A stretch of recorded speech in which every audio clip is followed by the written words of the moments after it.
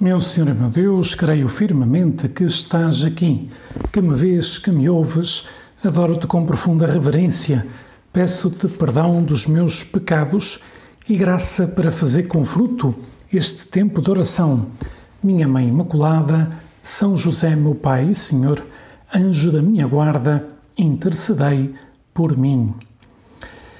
Hoje celebramos o 33 domingo do tempo comum, o domingo 33 que é precisamente o penúltimo domingo do tempo comum, uma vez que o último é Cristo Rei, né, que celebraremos precisamente daqui a uma semana. Não? O tempo comum está a acabar, Nosso Senhor Jesus Cristo, Rei do Universo, que celebraremos no próximo domingo. O tempo comum está a acabar, este é o penúltimo domingo. O Papa, de há uns anos para cá, quis que este domingo fosse o Dia Mundial dos Pobres, né? e nos faz considerar isto, né? da importância que tem de estarmos atento, né? atentos como é que eu posso ajudar a resolver o problema da pobreza, né? que é um problema que está presente no mundo inteiro, mesmo nas sociedades mais evoluídas, veja uma pobreza de solidão, uma pobreza de, a pessoa estar sozinha, não ter com quem estar, etc., de sentir-se isolada, pois tudo isso são diversos tipos de pobreza, não é só às vezes pobreza material, uh, mas às vezes uma pobreza espiritual também, as pessoas não sabem uh, rezar, não sabem o mais as básicas da doutrina, não, não têm esperança na sua vida e necessitam encontrar alguém que lhes, que lhes ajude a encontrar o bom caminho, que nós sabemos que o bom caminho é, é precisamente Jesus Cristo. É?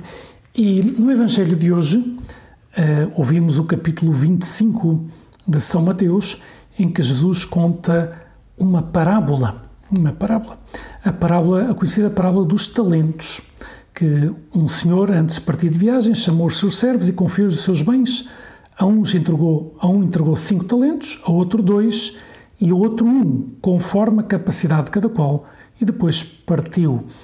Num evangelho paralelo a este, no outro evangelho, não no Mateus, aparece que o Senhor disse negociai até que eu regresse, até que eu regresse, não é? Você disse aos, ao entregar os talentos, negociai até que eu um dia regresse e depois já, já quero receber meus talentos que vos dei já ter negociado. É interessante que podemos pensar eh, que este que recebeu cinco talentos, o outro que recebeu dois talentos, estão agradecidos ao seu Senhor, não é? estão agradecidos. E por isso pensam: o Senhor confiou em mim. Esforçam-se por fazer render os talentos recebidos. Não é? Pelo contrário, o que, o que recebeu um, ok, atua, de um modo preguiçoso, mas falta-lhe esse sentido de agradecimento. De algum modo diz: ah, que pena que recebi um talento, ainda vou perdê-lo, ainda vou, ainda vou estragá-lo, é melhor conservá-lo e devolver exatamente ao Senhor como Ele me deu. Coisa que reparem que este servo, o mau e preguiçoso, o terceiro servo, aquele que recebeu um só talento, mas não o fez render, não estourou o talento, não gastou o talento, não o fez render, não o fez render. E por isso recebe essa reprimenda do seu Senhor, servo mau e preguiçoso. Dei-te o talento não para que o conservasses, somente, mas para que o fizesses render. Podia ter sido muito pior, ele podia ter estragado o talento e não ter devolvido nada, não é? seria pior, mas o Senhor chama-nos a atenção que os talentos que recebemos não é para. Às vezes encontramos pessoas né, que dizem: Pai, não faço mal a ninguém, eu não mato, eu não roubo, eu não faço mal a ninguém, Deus tem que me dar o céu. Mas é que Deus não nos criou somente para não matar, não roubar, não fazer mal a ninguém. Mas, evidentemente não podemos fazer isso, que está mal. Mas Deus criou-nos para fazer o bem, para fazer, render os talentos que Ele nos deu. E a primeira atitude tem que ser uma atitude de ação de graças, né? Senhor, obrigado por me teres criado. Obrigado pelo dom da vida, né? que, que é um dom que eu podia não ter, podia não existir, mas a verdade é que existe, porque tu o queres. Obrigado pelo dom da fé. Obrigado pelos talentos que me deste, as capacidades que me deste. Que se há pessoas que têm mais talentos do que eu, não há problema nenhum, desde que eu faça render os meus talentos, né? por amor a ti, por amor ao próximo. De facto, o servo que recebeu dois talentos também podia-se ter deixado levar pela inveja. Se eu só recebi dois, não recebi cinco, então agora não brinco, agora não, não me esforço. Né? Teria sido uma atitude orgulhosa, mas não. Disse, olha, o meu senhor deu cinco ao outro, deu-me dois a mim, pois olha, é lá com ele, mas eu vou fazer render os talentos que tenho. E é interessante que os, os servos recebem o mesmo elogio. Muito bem, servo bom e fiel. Né? Foi, foi fiel. Né? Pois... Eh, porque foste fiel em coisas pequenas, confiar-te as grandes. Vem tomar parte na alegria do teu Senhor. Interessante, não é? Dois faz um, diz que Deus fará esse elogio ao servo que se esforçou por fazer render o talento. A conclusão é óbvia. Temos que fazer render os talentos que tu, Jesus, nos deste. Os talentos naturais e os talentos sobrenaturais, as graças que tu nos dás. O importante não é o número de talentos que me deste, mas a generosidade com que os faço frutificar. Por isso, algo fundamental é afastar com decisão qualquer tentação de inveja, né? de fazer comparações. Nós não podemos comparar-nos com os outros porque nós não sabemos as graças que Deus concedeu aos outros. Sabemos mais ou menos as que nos concedeu a nós e por isso temos e os talentos que nos concedeu a nós. Por isso, mais do que encher-nos de orgulho, temos que encher-nos de agradecimento e fazer esses talentos frutificar, render por amor a Deus e por amor ao próximo. Hein? Por isso, afastar a inveja, corresponder à graça de Deus de um modo esforçado, exigente, constante, durante toda a nossa vida. Né? Por esforço. Dizia São José Maria, né? fundador do Opus Dei, dizia: se nós pomos o mesmo esforço em ser santos, em cumprir a vontade de Deus, que põe muitas pessoas aí por aí, por motivos humanos, seremos santos de altar.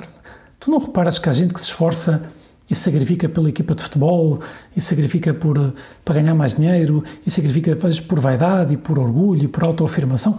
Pois se nós esse esforço o fazemos por amor a Deus, para cumprir a vontade de Deus, eh, agradaremos o Senhor, faremos render os nossos talentos. Por isso, não é muito o que o Senhor nos pede. Agora, é importante é que percebamos que, ou seja, nos pede tudo, é, é muito, mas dá-nos a graça para dizer que sim. O que nos pede é essa atitude de confiar nele e perceber que vale a pena, é? pois esforçar-nos, exigir-nos eh, por corresponder aos talentos que Deus nos deu, por fazê-los frutificar. O tempo passa é?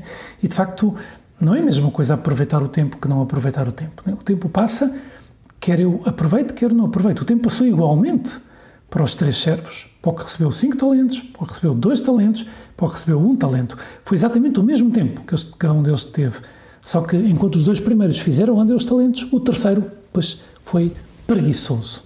Interessante, né? Pois, um defeito que às vezes podemos achar uma certa piada, mas não tem piada nenhuma, porque a preguiça faz imensos estragos na vida espiritual, né? na, na, nossa, na correspondência à nossa vocação, no, na correspondência ao amor de Deus. E às vezes podemos achar que é um defeito que não tem tanto problema assim, mas tem, tem.